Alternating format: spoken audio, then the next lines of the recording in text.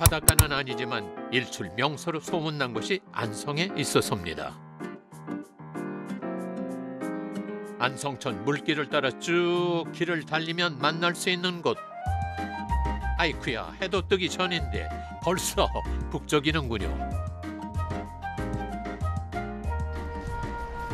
카메라 장비 하나씩 둘러맨 사람들.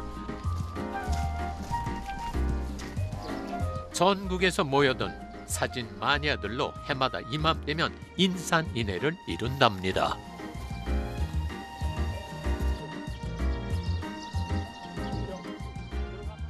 장노출 장노출 할 때 여기 여기 말고 여기 하고 여- 이쪽. 오케이 선생님 은 어디서 오셨어요?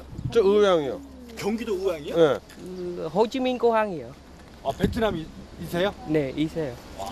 사진 찍으러 왔어요. 아 사진 찍으러 창원 있지 창원 어 창원이요? 어, 여기 성, 여 성지라고 그랬잖아.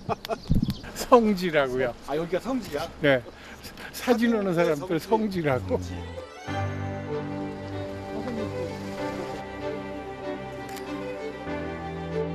낮과 밤의 일교차가 큰 계절 봄이 주는 선물. 여명이 터오는 즈음이면 인근 안성천에서 물 한 개가 피어올라 이렇게 몽환적인 분위기를 연출한다죠. 안개 사이로 떠오르는 일출의 독특한 풍광을 찍기 위해 사진 좀 찍는다는 사람들이 여기로 모이는 겁니다.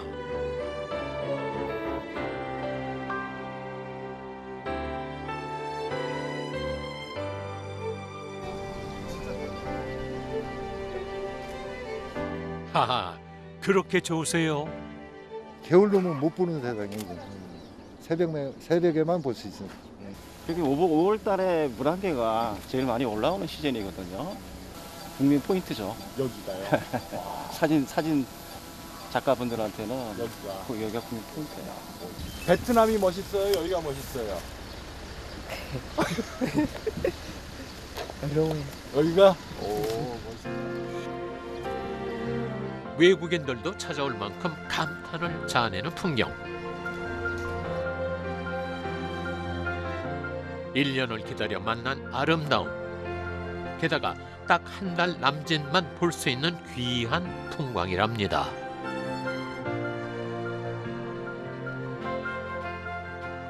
원래 여기는 무슨 뭐 하는 데였어요 선생님? 저, 저 목장이에요, 목장. 목장 네네. 5월 외에는 이게 한 6월이면은 이걸 다 벼버리거든요. 아 이게요? 예, 이거 호밀이라 여기 안성 목장에서 네 저걸 먹이거든요. 소먹이로 용 키우기 때문에 6월 달이면은 다 비어버려요. 그저 너른 목초지였던 이곳이 유명해진 곳. 지난 2012년 한 영화의 촬영지로 소개되면서부터 그때 세트장으로 지었던 건물 덕에 매력이 배가 된 겁니다. 큰 평야와 도심을 흐르는 물줄기가 있어 예로부터 풍요로웠던 고장 안성.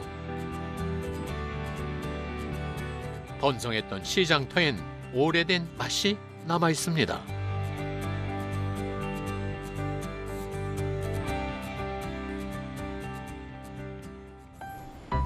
전국에서 다섯 번째고 경기도에선 가장 오래된 가게 3대째 손맛을 이어오고 있다는군요. 이걸 이제 살살살살 흐르는 물에 이제 핏물을 빼는 거예요. 이게 양지머리 고기. 국물 맛을 내는 기본이지 이게. 이 소머리도 들어가죠. 소머리. 이런 거 보셨나? 아이고. 이게 머리예요? 머리고기. 소, 소머리? 소머리를 이렇게 반으로 자른 거라고. 통째 통째.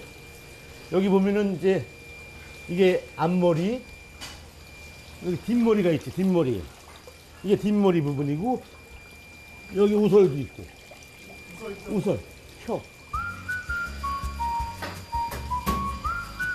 소 한 마리 탕이라고 부를 만큼 소의 다양한 부위를 한꺼번에 넣고 끓이는 게 이 집의 독특한 조리법.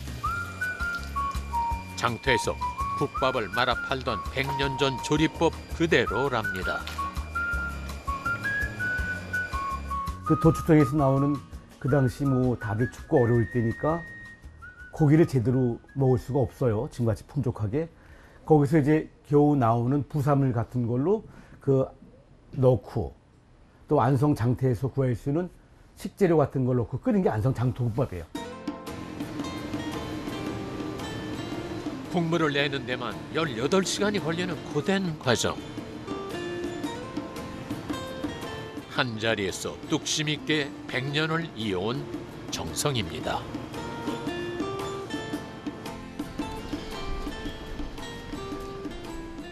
여기 이제 옛날에 어머니 아버지 쓰시던 이거 미니판 같은 거. 가게에 들어오는 손님은 누구나 돈을 내던 내지 않던 밥을 먹여 보냈다는 김종렬 씨의 어머니. 이 어머니가 이제 입버릇처럼 설렁탕 100년을 한번 끓여봐라 너희들. 어.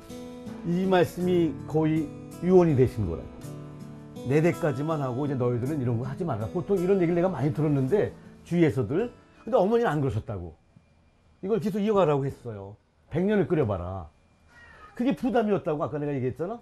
근데 나중에 이제 이제 100년이 지나고 나서 지금 돌이켜 생각하니까 이게 굉장한 의미가 있는 말이었다고. 그 당시 어머니 깨있는 분이었어. 한 가지를 꾸준히 해라. 그런 의미였겠지.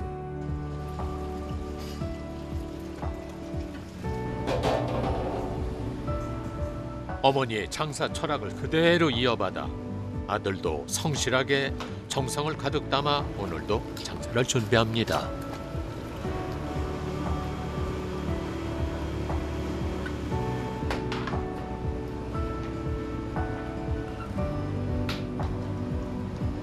안성의 맛을 내는 이렇게 저어줘야 되고 그래야 여기 밑에 이제 늘어붙지가 않죠.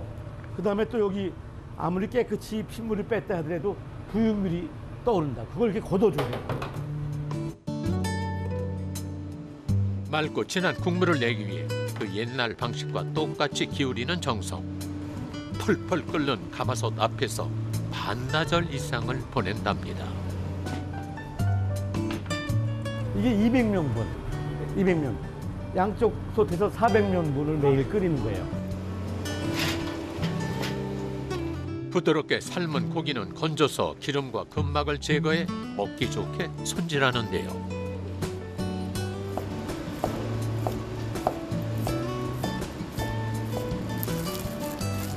푸짐하게 그릇에 담아 18시간 우린 국물을 붓고 한 소끔 끓여주면 소 한 마리가 들어간 탕국이 완성됩니다.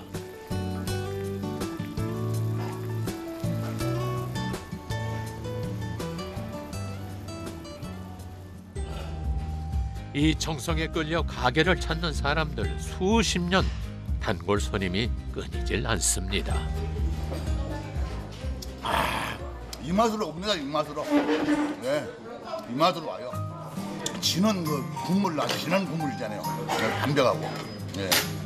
고기가 되게 특별한 것 같아요. 쫄깃쫄깃하고.